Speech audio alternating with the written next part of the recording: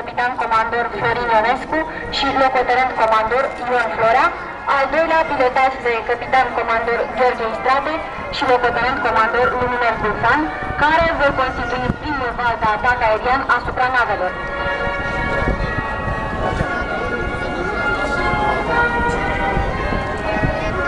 Eu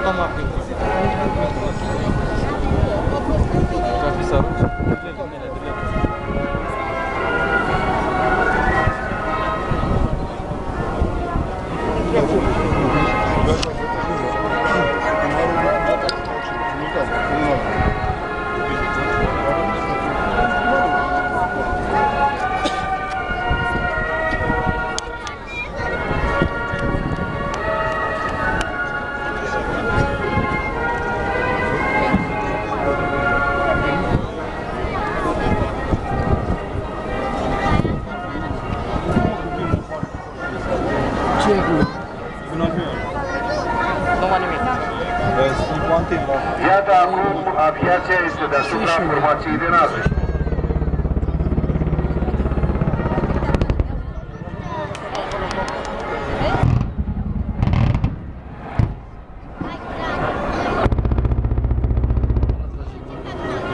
Din partea de nord, o celulă de avioane Mi-21 Lancer urmează al doilea val de atac aerian asupra formației de nave. Ele aparțin escadrilei 861 din flotila 86 aeriană Fetești și sunt pilotate de locotenent comandor Ionuț Vișan și capitan Florin Grăvescu. Uite, mai vin la... Care slabă? Că da. Este de...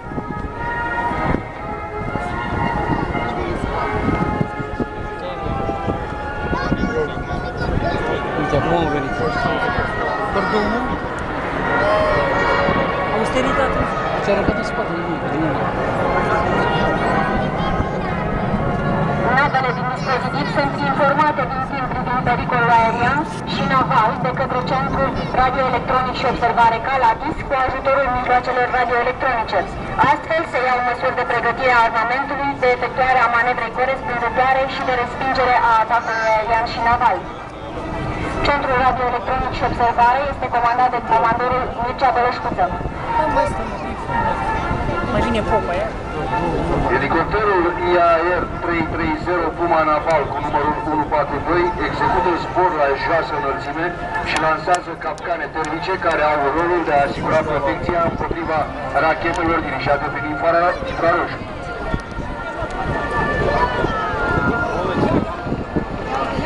Mijlocul principal de lăsire pe comunicație este racheta navală.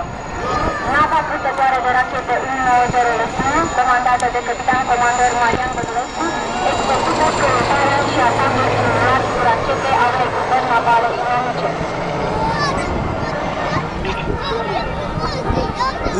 Racheta navă-navă este cea mai eficientă și totodată cea mai puternică armă de care dispun forțele navale române.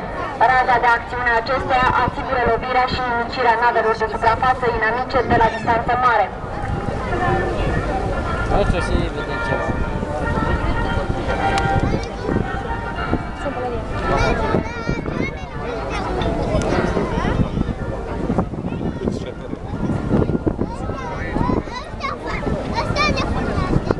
Acest moment, din dreapta dumneavoastră, evoluează corveta 263 viceamiral Eugeniu Roșca, comandată de capitan comandorul Ciprian Mandachi, care simulează căutarea, descoperirea și atacul unui submarin folosind armamentul de la bordul navei. Pentru nimicirea submarinilor, corveta va declanșa atacul folosind armamentul principal de la bord, torpilele antisubmarin. Cu evoluția corvetei 263, pe faleza din fața dumneavoastră se desfășoară jocurile marinărești care au ca scop evidențierea într-o manieră veselă, deconectantă, a calităților și aptitudinilor practice pe care fiecare marinar trebuie să-și le perfecționeze. Demonstrație de aruncare a bandulei la punct fix în colac de salvare, concurs de tras la parâmă, concurs de alergare în sac. Eu te filmo, și poate face ceva. Atacul submarinului de către corvete este continuat prin lansarea a două bombe antisubmarine. Nu.